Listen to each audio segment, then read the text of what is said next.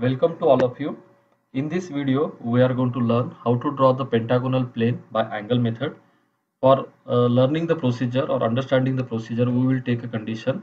We have to draw a regular pentagonal plane of side 50 mm. So all of you knows the pentagonal structure is nothing but having five sides and if it is a regular pentagon means each and every side is having the same dimension that is 50 mm 50 mm 50 mm so this is the nature of the pentagonal plane so as per the name of the method angle method we are going to learn here. So we have to use a formula to find out the angle of a particular pentagonal plane. That is angle is equal to 360 divided by number of sides. That is applicable for uh, other polygons also. So presently we are drawing or present you are uh, drawing a pentagonal plane. So number of sides are 5 so the next step is 360 divided by 5 total number of sides. The answer will be 72 degree. So that 72 degree angle will be from the outside of the pentagonal plane from one of the corner point.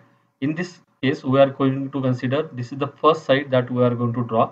So from the corner point of this horizontal edge or side the outer angle is 72 degree. So the inner angle of the pentagon at the particular one corner uh, one of the corner point with that same edge is 108 degree. So either we can make the use of 72 degree angle from the outside or 108 degree from the inner side. This is the base of this procedure. So let's see one by one uh, step by step how to draw the pentagonal plane. So initially we have to draw a horizontal line as per the requirement. We can draw the vertical line also but we are learning the basic procedure. So draw the first horizontal line of given side that is a 50 mm. So the length of the line is nothing but 50 mm. Name that line as a a and b point that is the end points of the first line of the pentagon and having the name a b c d e. So as per the procedure as per the angle either 72 degree from the outer side or 108 from inner side. So i will make the use of the angle of inner angle. That is 108 so from one of the corner point initially from corner point b or end point b I will draw the represent the angle 108 with the angle measuring device and I will draw a line. And as per the uh, nature of the polygonal uh, plane that is a regular pentagonal plane each and every side will be having the 50 mm length. So I will mark the 50 mm length with the help of scale and I will name that end point of the line C as a uh, one of the next point of the pentagonal plane. Similarly we have to follow the same procedure at a first point also.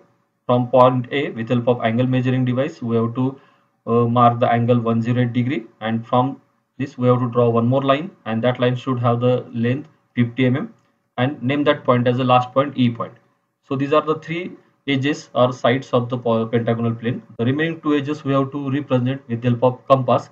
So by making the use of the compass we have to measure the length of A to B in the compass and consider the point C and E are the uh, starting point to draw the arc. So by keeping the one of the end of the compass uh, on the C point, we have to draw the arc like this.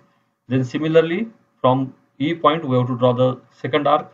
These two arcs should be get intersect and that will be our uh, one of the uh, remaining point of the pentagonal plane that will be D.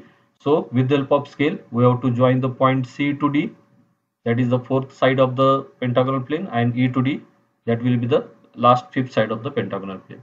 So this is the basic procedure to draw the pentagonal plane by using angle method. Either we can make the use of 108 or 72 degree.